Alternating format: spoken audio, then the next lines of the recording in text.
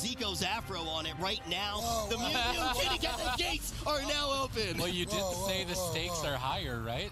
the stakes are higher The than ever. stakes are not that high, okay? when we get to Springland, maybe we can discuss it. But until then, guys, let's settle down here for a second. Come there on. it is. Mew Mew Kitty Cat's going to be on the composition that they look so fantastic on, but Jamili instantly receiving pressure. Curious to see how this plays out. Basically, Jamili just needs to win one series out of three. That's all he's got to do, and he's going to qualify for the spring finals with his team, Mew Mew Kitty Cats. Can they pull it off? They have to take down the boys, potentially, or they have to take down the Super Frogs. And if they don't manage to do that, then it is going to be a grudge match against Colo for that last spot at land. So far, things not looking too great for Mew Mew Kitty Cats as the boys establish a pretty big lead, getting that avenging wrath of Rubka pulled out of the way. But a swap to Gorecki. This is what I love from this team of Mew Mew Kitty Cats is their pressure on healers. That Holy Paladin of Rubcub always adding in a little bit extra spice. Yeah, well, we actually did see M2KC. One of the reasons that they were able to beat the Super Frogs is they took down the composition the boys are running. They just put a lot of pressure on a Cubsy. Now we see a lot of pressure on a Gorecki. I think if M2KC can continue this assault, Gorecki could eventually fall. The things teams really can't calculate is Rubcub on the Holy Paladin with that added Hammer of Justice as well as some of the additional damage he's able to bring can really throw these Restoration Druids for a loop. Curious if Thugonomics is running that mana rift strategy. I can only imagine that he is. It's the main reason why you would take a Demon Hunter into this fight. Although we saw Mew Mew Kitty Cats take out the Super Frogs when they tried to run the Demon Hunter Death Knight. And I'm curious to see if they can do it here against the boys. Currently, Roasty setting up crowd control on Gorecki. Maybe trying to get a sap on his trinket. Gorecki comfortably sitting through this with Thugonomics now having Blur activated. Desperately trying to avoid the kidney shot of Ro Roasties, now securing a double stun. Rubcub needs to get ready for this. He is pushing forward aggressive to set up the team and is falling behind on heals, falling behind on mana. The boys continue to establish an advantage.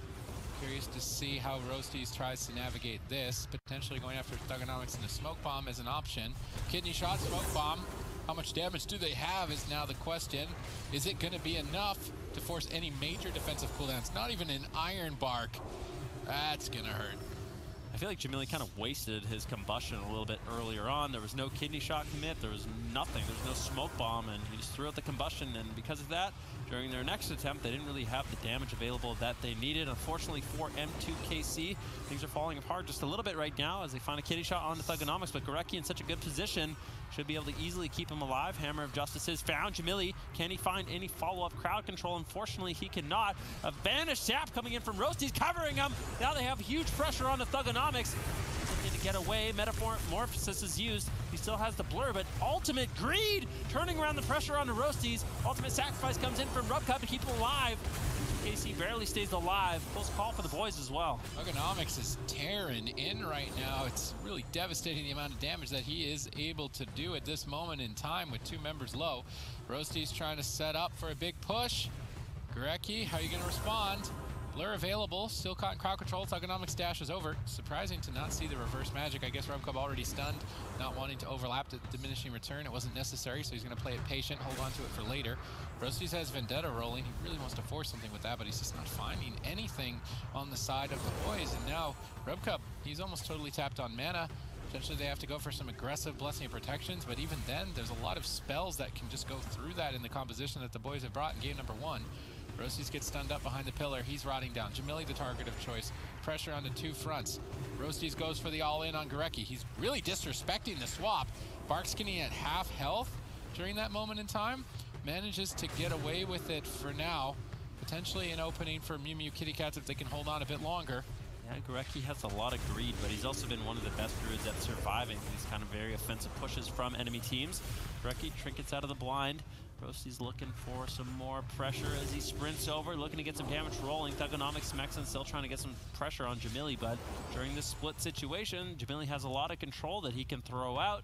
In the meantime, it's difficult for Gorecki to actually get the spells off just because of the fact that Roasties always has that kidney shot. He can threaten him. He gets out of form. He gets caught into a kidney shot. That's when Jamili can blink in and start getting some damage rolling. So it's a difficult situation to be in for the boys, but at this point, they've almost hit the finish line. Rubcub almost completely tapped on mana. M2KC really struggling with this Demon Hunter Death Knight composition that's available. What are they going to do? Gorecki gets Hammer of Justice. Roasty's running over, and I just don't think they have the damage to take him down. Gorecki's going to be completely fine getting into bear form. Barkskin still available as well as renewal. In the meantime, Roasty's getting low. Jamili also, Rubcub using the last little bit of mana he has left to keep his team alive, but things are getting out of control for M2KC. Qualification on the line here. Mew Mew Kitty Cats just need to take one series out of three today, and they will make it to the spring finals to compete in an international setting for North America. Now it's looking solid with decent pressure on Thuganomics. Flyers Maledict absorbing a lot of Gorecki's heals. He's almost tapped on mana. Rubcub, though, equally so, is totally tapped and low on health. Thuganomics smells blood, trying to go after him a little bit, then immediately actually going back onto Jamili. Combustion popped. Smexen saves Thuganomics with the anti-magic zone. Thuganomics doesn't care. He's just going to jump out of that. That's a pretty risky maneuver, but possibly nets him a kill. Yeah, sometimes the best defense is a good offense, and they force Jamili into the ice block, immediately exiting the safety of that icy cocoon. Now finally going to be in a little bit of trouble as he dips lower. Roasties, actually Thuganomics, he trades out the darkness. Jamili just hanging on by a thread, he gets interrupted. Rubcub throws in the ultimate. Thuganomics! Holding on. Is he going to die when he's at 1%? Oh, he's at 1%! Thuganomics holds on for a couple more seconds. Jamili holds on. There's no way. There's no way Thuganomics dies here. It's so close. Blind on Gorecki. Full blind on Gorecki. How is Thuganomics healing up during this moment in time? They, oh, they were so close to taking it, but now it's looking like a triple kill for the boys as Rub Cub holds on to any semblance of health that's left, but it's not enough, and the boys take game one. What a weird end of a game that could have been if we were pack rats. If you are Zach, you're in the chat right now with all of us just watching with that hashtag TB and that hashtag SF. This has got to be such a stressful situation for them as they're watching these games play out. And the Mew Mew Kitty Cats are finding themselves on the back foot. Rub Cub instantly going to be opened on. Yeah, what is Jamili going to be able to get done on this Arcane Mage? Who are they going to be going after in this matchup? Gorecki comfortably sits the blind. Now a sap. Thuganomics taking a little bit of burst damage, but I don't know. I'm not entirely sold on it for an Arcane Mage. I think a Demon Hunter and a Death Knight, they can actually stay on top of you. They can. They both have ranged interrupts. They both have high mobility. A lot of snares. So far, it doesn't look like Thuganomics and Smexen are going to be going after Jamili, although I do think it would be a decent decision. I know that Zico was talking about before that sometimes the best strategy against an Arcane Mage is completely ignore him and maybe the lack of counter pressure Jamili really has available will just allow Thuganomics and Smexen to sit on Rubcub and really burn him out of mana quickly. I'm still wondering why they picked Hook Point. Unless they are really intending on out-manaing Gorecki and denying his drinks. perhaps they can out-mana him with access to the Arcane Mage's Spell Steal as opposed to the other mages. It costs a lot less mana, and you've got Yamake to reset. We see a Blinding Light as Rubcub tries to set up a push here for the team. Thuganomics the target. Ironbark trades quite effectively. Gorecki actually getting caught in a polymorph. Nice attempt by Jamili. That opens up Thuganomics as a target. If he can continue the chain of polymorphs, this is the second one. Need to look for a third one. Darkness exchange, but fairly so for the vendetta of Roasties. Now that darkness has faded, but so has the crowd control on Gorecki. It connects a big heal. Thuganomics charging forward, but with Rubcub's Avenging Wrath, I think it's unlikely that we see him go down unless we see multiple interrupts in a row. He has Divine Favor, accessing that, catching a heel. Caught in a triple stun, a bit of a blunder here by Whoa. M2KC, stacking up, and now under devastating amounts of damage. Divine Shield exchanged, and that is the most vital defensive cooldown to survive on a Paladin. It's out of the way, and the boys continue to dominate. This is why I don't like Arcane Mage in this matchup. Jamili just can't get counter pressure. He's always in range of Thuganomics to interrupt him. He's always in range of Smexen to interrupt him. Now finally finding some Arcane Blast, but damage just isn't there. Thuganomics and Smexen, they're all over Rubcub, and Rubcub really doesn't have too much left to work with. There's a blind on Gorecki, but he preemptively Ironbarked the blind. Thuganomics should be completely fine. Things spiraling out of control for M2KC.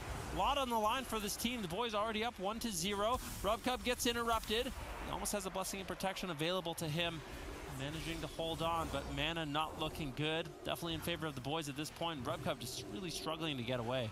Rub Cub doing his best with basically nothing, and as Sidu was saying, every game with Rub Cub in it is a battle for his life, putting it up to the absolute final second for his team, but here that might just be the case. It's looking so devastating for M2KC as they try to desperately pull things together.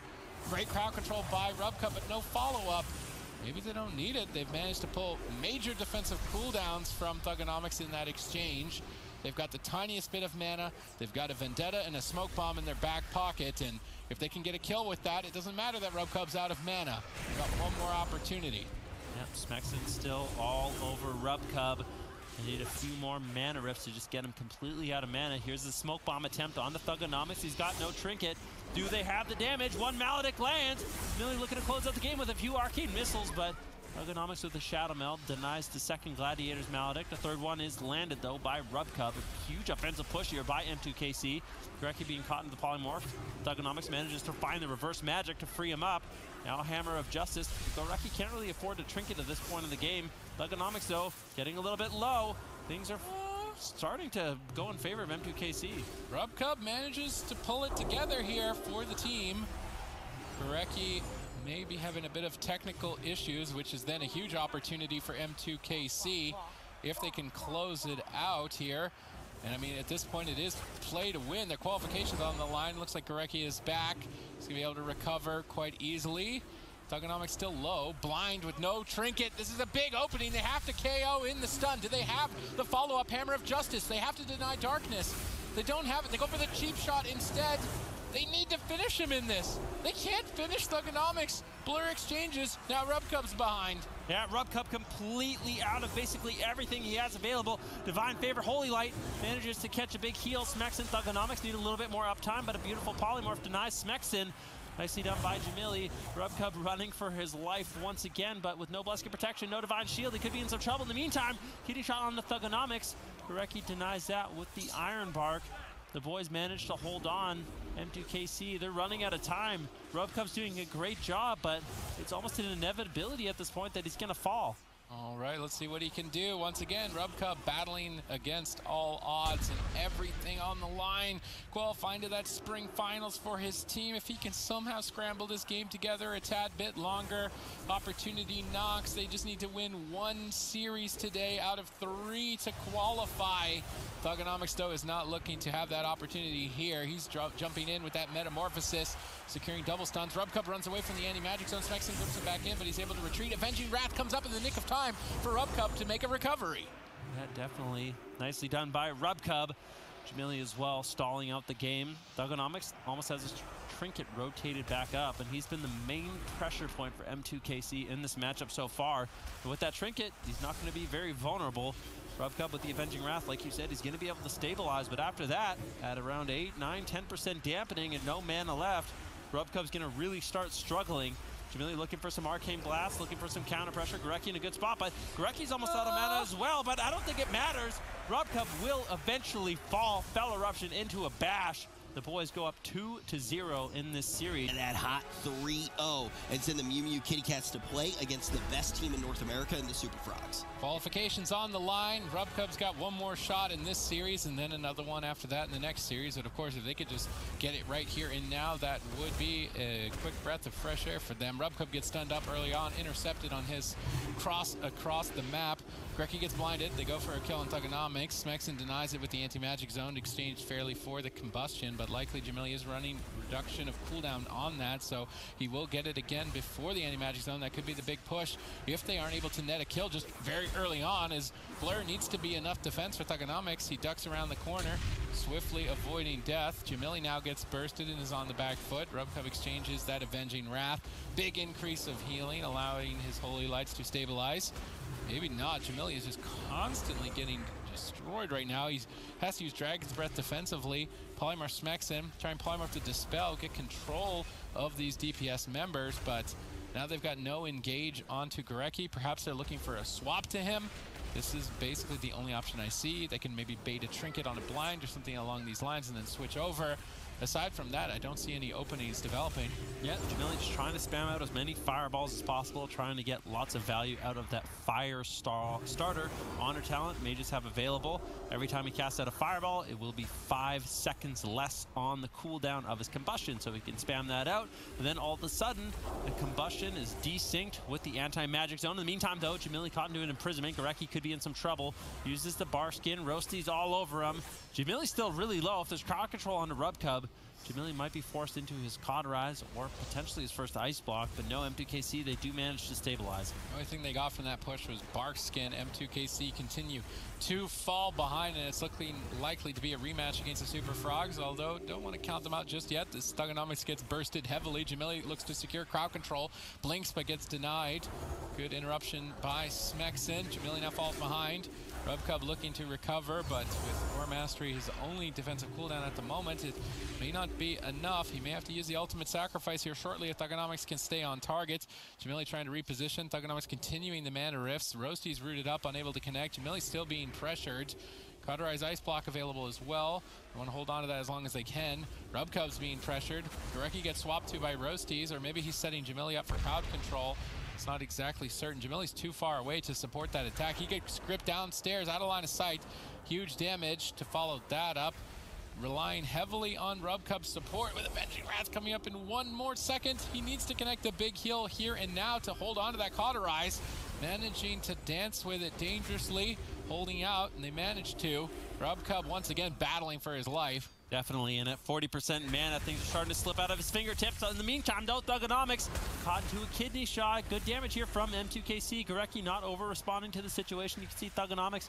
He still has so many defensive cooldowns. He can rotate through the boys. They managed to hold on to all their trinkets despite that very scary moment. Rubcub now looking for a Holy Light. Doesn't have the healing, though, to keep Jamili alive as he dips lower. Finally catching a big heal. Another kidney shot onto Thuganomics. This is a combustion. Big damage available for M2KC. Thuganomics not messing around. Trinkets out. Iron Bark going to be committed by Gorecki. That'll keep him afloat. And now the boys need to start getting some damage rolling. M2KC's mana is not doing too hot. Gorecki trinkets out of the blind, and now M2KC, there is an opening.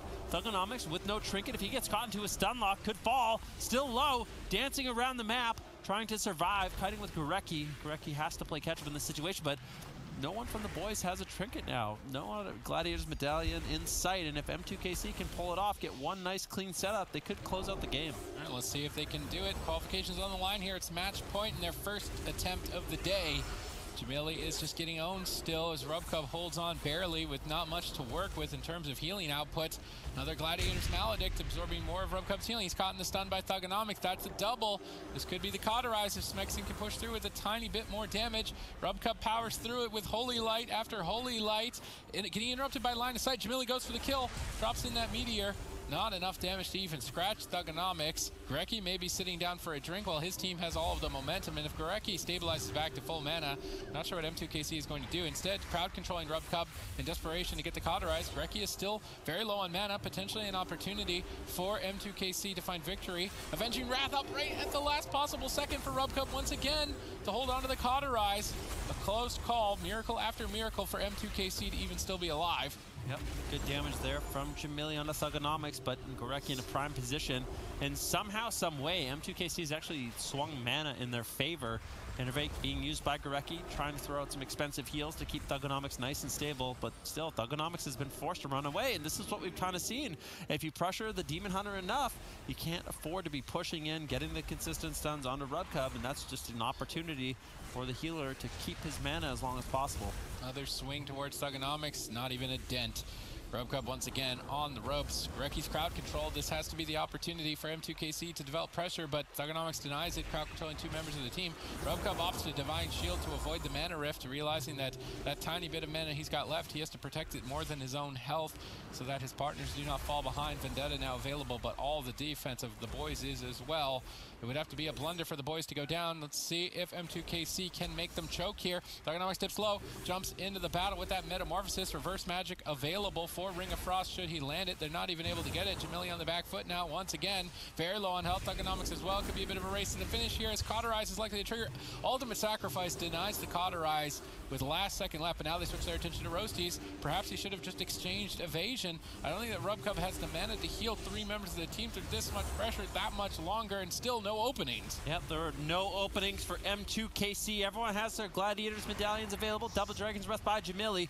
He's looking to try to create some space. Rubcub gets gripped in. Jamili looking to counter pressure, but Rubcub is in so much trouble. He doesn't have anything. at 10% dampening. Looking to kite away on the Divine Steed, but Thuganomics says no way. Sending M2 feed versus the fake zebras. We're all tied up one and one. Who is going to find themselves on match point? Who is going to get a little bit further into this tournament? Keep in mind, folks, we're doing a brand new thing. You have just entered in the middle of history the longest series that has ever been played in Battle for Azeroth.